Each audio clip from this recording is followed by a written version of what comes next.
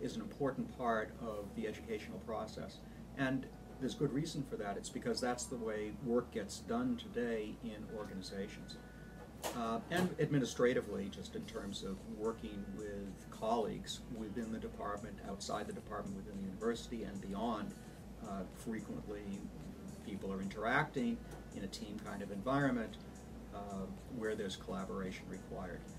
Whether it's you're jointly writing a paper with somebody, an academic paper, doing a research project, uh, or whether it's working on uh, an administrative issue, uh, formulating a new program uh, for instance, uh, or working collaboratively with people in our Korean program, where we have a Master of Science in Technology Management.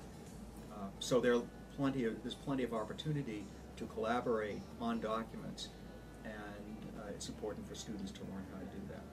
Okay.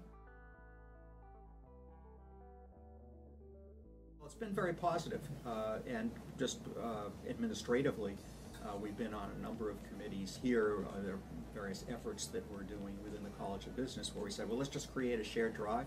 Uh, we'll put the materials up on that shared drive. It'll be there, and it's made things a lot simpler. Everybody knows where where the materials are. They have equal access to those materials from anywhere. Uh, so it's made things um, simpler, more efficient, more convenient. Also using it for course materials. Uh, and so, for example, next week I'm going to Seoul, Korea, where I teach a module in international human resource management.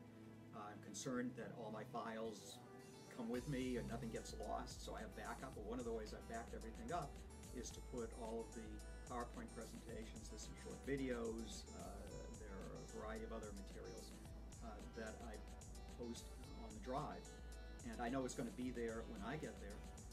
Also I can send the um, access, share that with uh, the staff that are there so that they can set up their